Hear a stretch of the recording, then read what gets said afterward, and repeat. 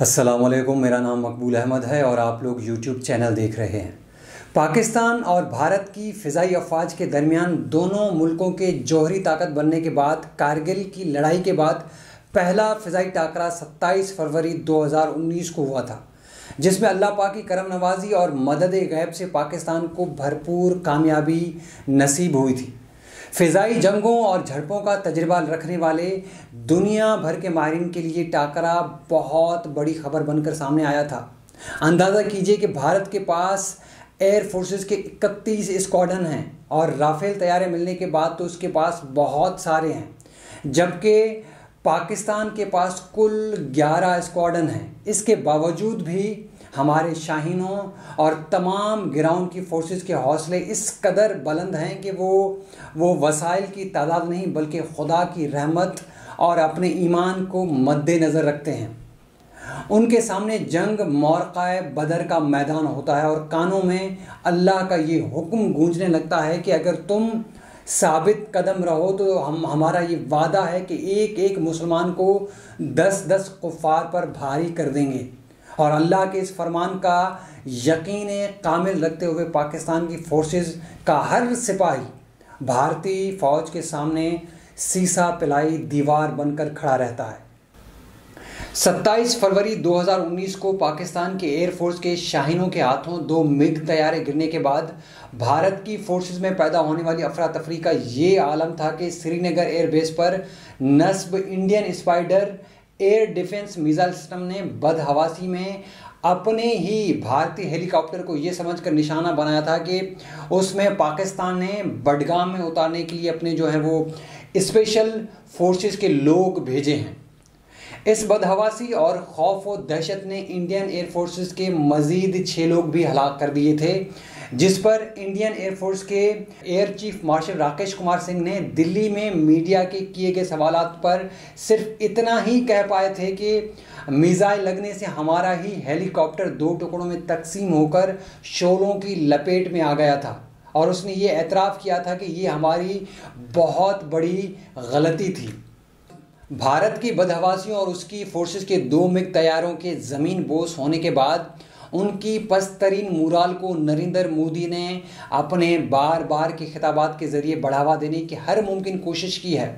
लेकिन भारतीय फोर्सेस के जहनों से ये बात निकल ही नहीं रही थी कि पाकिस्तान की एयरफोर्स इस कदर महारत रखती है कि उसने एक ही पल में दो मिग तैयारे गिराने के अलावा भारत के इंतहाई माहिर विंग कमांडर अभिनंदन को भी गिरफ़्तार कर लिया था। नाजरीन, इससे कबल भारत के हाई वैल्यू पॉइंट्स के इर्द गिर्द पाकिस्तान के गिराए जाने वाले मिज़ाइलों का डर भी भारत को सताने लगा था। और उसके बाद भारत अपने एक एम आई सत्रह हेलीकॉप्टर को दो टुकड़ों में जलता हुआ देखकर भारतीय फौज का बचा कुचा हौसला भी जवाब दे गया था। फरवरी 2019 की इस फिजाई झड़प को डेढ़ साल से ज़्यादा अरसा बीत गया था। इस दौरान भारतीय एयरफोर्स के सीनियर अफसरान और उसके चीफ समेत भारतीय जनता पार्टी और मीडिया के लोग सब मिलकर लगातार कोशिशें करते रहे कि अपने जवानों और जूनियर अफसरान के दिलों से पाकिस्तान का खौफ निकाल दें। और इसी सिलसिले में नरेंद्र मोदी के इस बयान ने यह कहते हुए उनके दिलों में और भी डर पैदा कर दिया था कि काश हमारे पास राफेल तैयारे आ जाते तो हम फिर पाकिस्तान को सबक सिखा सकते थे। लेकिन भारत को फिर भी उस खिफत और शर्मिंदगी का मुदावा नहीं हो सका था। ये तो हमारे मुल्क में कुछ गद्दार हैं जिन्होंने अपने उन बयान से भारत को नफसियाती तौर पर हौसला दिया है कि मोदी की धमकी के सामने पाकिस्तानी क़्यादत की टांगें कांपना शुरू हो गई थी। और अभिनंदन पाके अभिनंदन को पाकिस्तान ने अमन का पैगाम देने के लिए नहीं, बल्कि भारत के उस अल्टीमेटम की वजह से रिहा किया था कि अगर ऐसा न किया तो भारत पाकिस्तान पर हमला कर देगा। मोदी की धमकी के सामने पाकिस्तानी क़्यादत की टांगें कांपना शुरू हो गई थी और अभिनंदन को पाकिस्तान ने अमन का पैगाम देने के लिए नहीं, बल्कि भारत के उस अल्टीमेटम की वजह से रिहा किया था कि अगर ऐसा न किया गया तो पाकिस्तान पर भारत हमला कर देगा। गिलगित बल्तिस्तान के वोटरों ने मियाँ नवाज़ शरीफ और उनके हामियों के इस मनफी बयानियों को बुरी तरह मुस्तरद करते हुए उन्हें शिकस्त फाश दे दी है। अगर पीपल्स पार्टी को कुछ निश्चितों पर कामयाबी मिली है तो उसकी भी वजह ये थी कि बिलावल भुट्टो ने मियाँ नवाज़ शरीफ के बयान से मुकम्मल लातालुकी का इजहार करते हुए साफ़ साफ़ अल्फाज में ये कह दिया था कि उन्हें नवाज़ शरीफ की बातें सुनकर हैरानी हुई है। मौलाना फजल रहमान जिन्होंने सरदार अया सादिक के घर नाश्ते की दावत में मियाँ नवाज़ शरीफ की दरख्वास्त पर कबूल ही इसीलिए की थी ताकि मौलाना मुस्लिम लीग नवाज़ के बयानी की तायद करते हुए ये पैगाम दें कि पीडीएम के सरबराह भी इस मामले पर वही राय रखते हैं जो अयाज सादिक ने असम्बली के फ्लोर पर कहा था।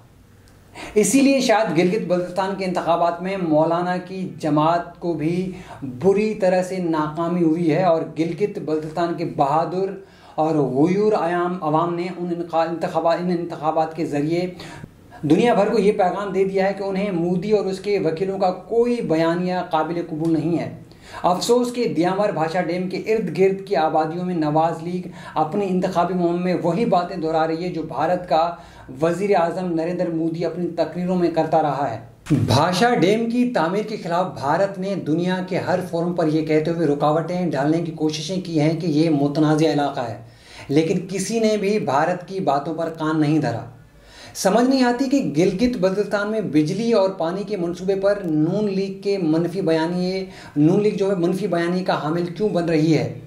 हालिया इंतबात में दियामर भाषा डैम के लोगों को कौमी मनसूबों के खिलाफ उकसा कर ये किसको पैगाम दिया जा रहा है? दिवाली के मौके पर इंडियन एयरफोर्स के अफसरों और जवानों से खिताब करते हुए भारतीय वज़ीर अजम नरेंद्र मोदी ने फिर से सरदार अयाज सादिक की कौमी असम्बली में की गई तकरीर का हवाला देते हुए